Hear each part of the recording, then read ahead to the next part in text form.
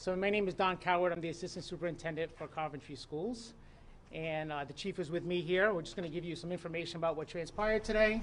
We'll take a few questions. And then, uh, you know, as time goes by and if we get any more information, we'll be able to share that out with you. So uh, in regards to a timeline of what happened at the school today and how this whole thing came together, um, right around 11:45, the students were passing between classes. It was at end end of one of the lunch periods, and somebody was heard saying um, he has a gun. Uh, that was uh, first reported by a teacher, and then reported by a student, and then another class of students, um, in a location that's sort of in two di- where two different hallways come together. And so the school department uh, administration gathered that information right away so that they could uh, figure out what was happening. They put the school on pass restriction, which means they hold the kids from passing. Every kid stays with the teachers in the classrooms. Once they determined that there was probably uh, something that needed to go a little bit further than that, then we put the school on lockdown. And once we put the school on lockdown, then uh, the police personnel arrived on scene. So by uh, the, the report came at 11:45. We did some investigating. We looked at the videos. We took statements from teachers and students. And by 12 o'clock, I don't have the exact time period because as this thing is evolving, there's not a lot of time to look at your watch, right? But as this thing was evolving, right around 12 o'clock, we were in lockdown. Um, I work out of the central office building. I was here by 12:15, and by 12:15, the full department, almost the full department from Coventry, was here, um, establishing their um, the perimeter and, and the procedure that goes from there. I'll let the chief kind of pick up from that point, and then you know we can kind of tag team if there's any questions. Sure. My name is Frederick Heiss, uh, Chief of Police in Coventry. So the police department arrived on scene and we set up a uh, unified command with the uh, Coventry Fire Department as well as um, school administration and us. And during that time, we uh, determined was we weren't able to identify who had been making the statements about the gun. So at that point, we uh, decided we'd have a um, we'd search the students to find out if anyone had a gun. So all the students were searched, the classrooms were searched, and belongings were searched. Um, at this time, we were unable to locate anything. There was no weapons found. Uh, so uh, students were, after they were searched, they were uh, put on buses and brought over to job lot for reunification with their parents, and or taken a bus to uh, their house. Sure if anyone has any questions. Yeah, we just add to that before we take questions. So part of part of the unified command is that we make decisions together. So we were huddled together a few different times, and decisions change over time. So initially, when we started the uh, the searching of the classrooms, and there's 15 almost 1,500 kids in this building, um, a few hundred adults. So to, to, to do a search person by person takes time, and it's and faci- the facility itself is, is large. So we had to make some decisions about how we secure the students who have been searched, and then make decisions on how we dismiss those students, so that uh, once the kids have gone through that search process, we can get them off campus. And so what we did, which which we all agreed was probably one of the best decisions we made, is we decided to make the job lot parking lot a staging area for parents because parents weren't able to come up onto the property once we have locked down the, the, the, the campus. So parents were instructed to go there, and then we were able to shuttle students to that location to meet their parents. Other students who had been already cleared to leave were able to go home on their regular bus at their regular time, and some students who were cleared to leave were able to drive home. Uh, they were escorted out of the building just to make sure that you know they got to their car safely and that nobody came back into the building. But some students did not get on the bus at the time that they were supposed to. Some kids didn't leave the school at dismissal time. Uh, our last student was cleared out of this building by four, and the last students were picked up or delivered out of the job lot parking lot by 4:30. So every every student is home safe, which is you know obviously our priority, and you know from our opinion that's a success. It's a difficult situation, but when you get all the kids home safely and nobody's been hurt, that, that that's um, a difficult situation that worked out the way it should. Can you tell us what the dividing factor was between students that were able to, you know, have their backpacks searched or have to leave here or go home? Can you tell us more about that? Yeah, so initially it was it was a manpower thing. So the Coventry police were the first on scene, and so um, and and over time, and, and you know they can explain more, but we had mutual support from other police departments. But initially it was just the Coventry police, and when we first started our search, we were searching uh, the people and their bags. but that's labor intensive. That takes a lot of time. And when you, like I said, we have a lot of students. So to go student by student, bag by bag, takes a long time. So once we got a little bit more support on campus, we were able to search the students and leave the bags. And then the police department, with their mutual support, had people go to the rooms. We also had dogs on site who went to the rooms, who could, um, and, and they could speak more about it than I can because it, it's a it's a police uh, canine unit. But they they were able to use the dogs to, to smell for for weapons. Um, by the end, we had so much support from the neighboring community and the state police that some kids were then able to leave with their bags because we could check students and bags pretty quickly at the end. How long did it take for the lockdown to be put in place for parents to be notified that it was happening? Mhm. So I think the I, I can't tell you exactly the, the moment parents got emails. I will say to you um, with the- with the with the unified command approach is the, the emails is is important, but not as important as making sure we're locked down and safe, right? So our first priority is to make sure all the kids are in the classrooms with their teachers. Nobody's in the hallway. The campus is secure. Nobody's coming in or out. But once we do that, we started drafting the email together. And as you can imagine, in a, in a hectic situation, the email evolves a little bit. And, and you, you don't want a situation where you're sending emails to really, really nervous parents, one after another in rapid fire. That just makes people more uncertain about how things are being handled. So it took us a little bit of time to draft that email. But once it was sent out, maybe 15 minutes, could have been 20. Uh, you can quote me, you're the news, but I think it's it, it, was it was relatively quickly cons- considering the time constraints. Um, but then we also shared it on social media. We put it on our Facebook page, our website. We sent it through our parents listserv. We also sent a text message out to parents who received text messages for, uh, instructing them to check their email. Was anything found during the search? You want to speak to There, that? there was no weapons found. Can you walk us through kind of the, the process? You know, what your officers did? Did they go room to room? Like, how did this work? So basically, we divide up the school at room by room. Uh, we, we had asked for assistance. Uh, Rhode Island State Police was here, Warwick, Cranston, Scituate, and, and West Greenwich assisted us. And we went room by room, searching uh, students and uh, basically their uh, bags and things. How about lockers or anything like that? So we did not search the lockers, no. The dogs went through the area. I, I, I will say from a school department perspective, very few students use lockers. They carry their stuff with them. So we assign lockers as needed and requested, and we have very few lockers assigned to students. Are you guys concerned because obviously several people heard this? He has a gun. Um, more than one pe- people obviously reported that to you, like you said in the beginning. So what's to say that student doesn't come here tomorrow? Are you going to be taking any precautions for tomorrow's school day or anything like that? So tomorrow we'll have, tomorrow morning we're gonna have additional uh, police staff here also in the morning to be around. Do you know where? Do you, have you guys been able to identify the student who said that or no? No, No. we have not been able to. No. Was Um, this deemed to be a threat, or did you just not know in that moment? So in this case, we didn't know what it, we don't know what it is because we weren't even- weren't able to identify who said it. So as a precaution, we, we treated it the way we did to make sure everyone was safe and everyone went home. And just to be clear, the statement wasn't that the gun was in school. It was just that someone has a gun. He has a gun. Okay. So you didn't. Basically, you didn't.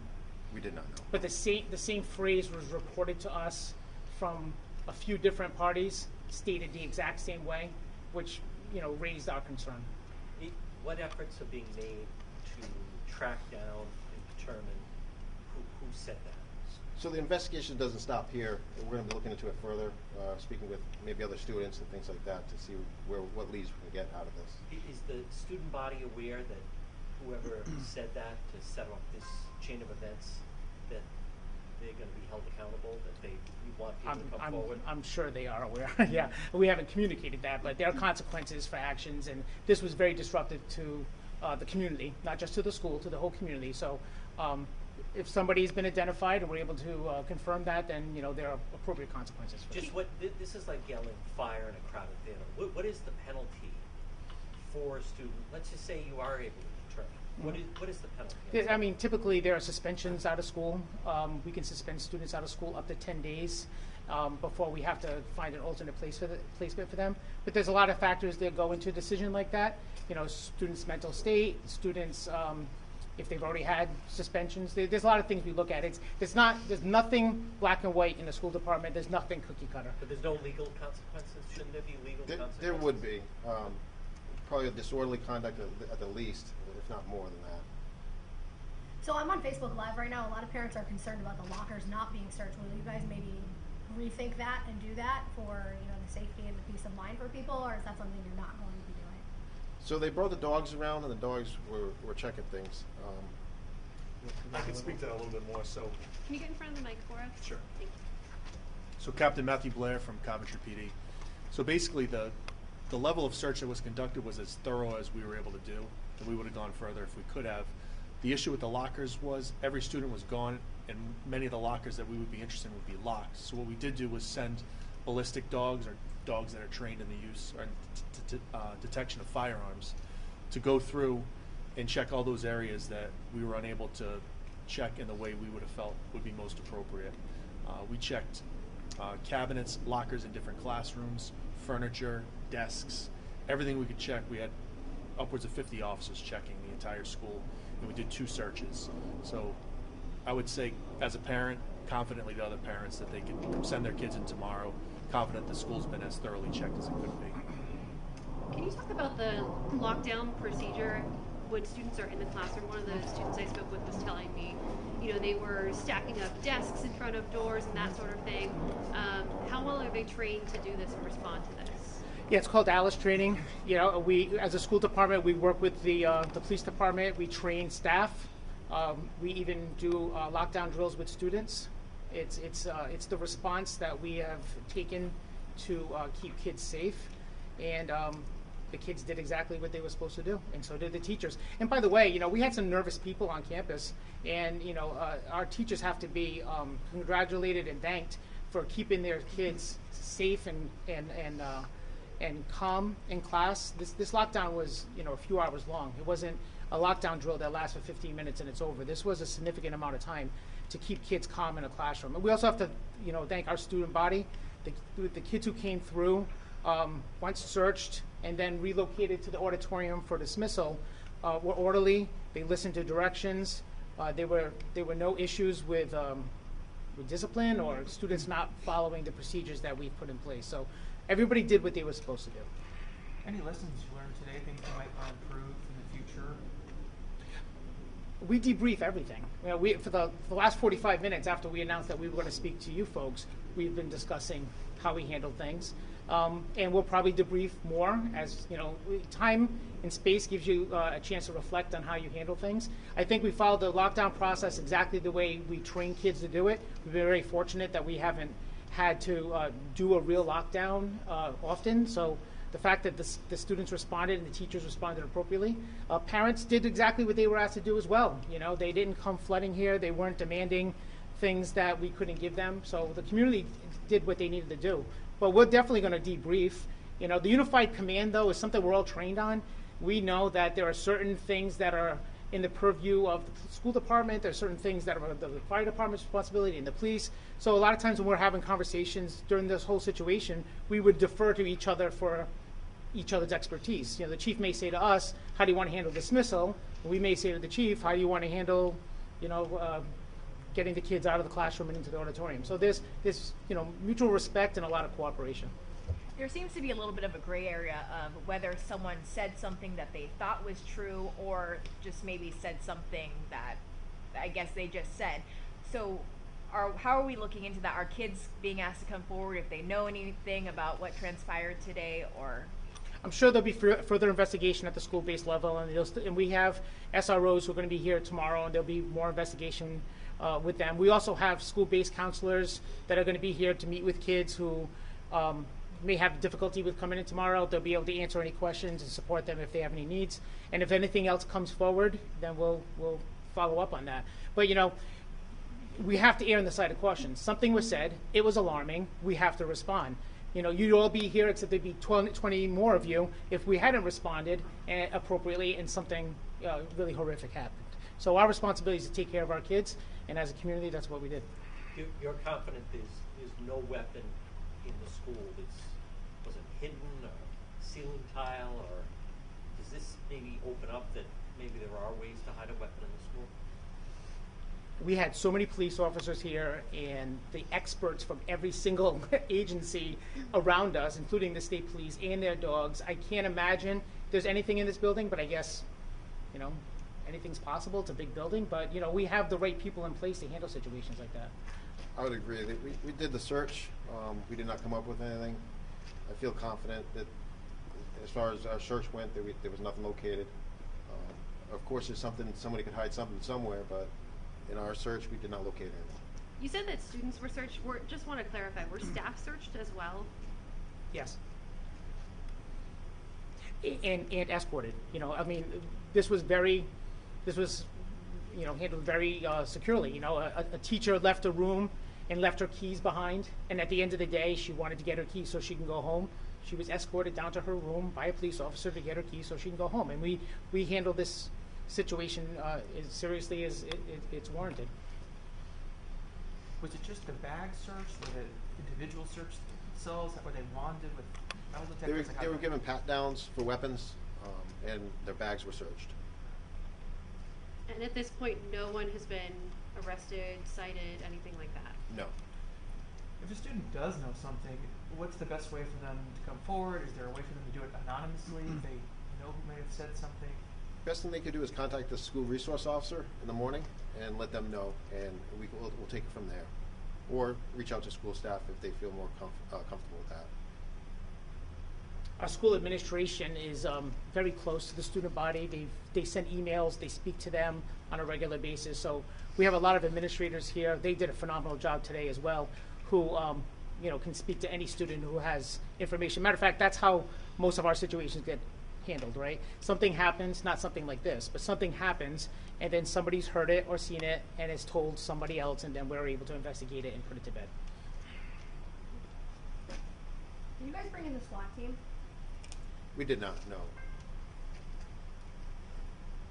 Maybe we'll take one more question and then we can wrap it. School tomorrow as expected? Yes. Yes. Thank you. Thank you all. Thanks. Thank you. Thank you. Thank you. Thank you very much.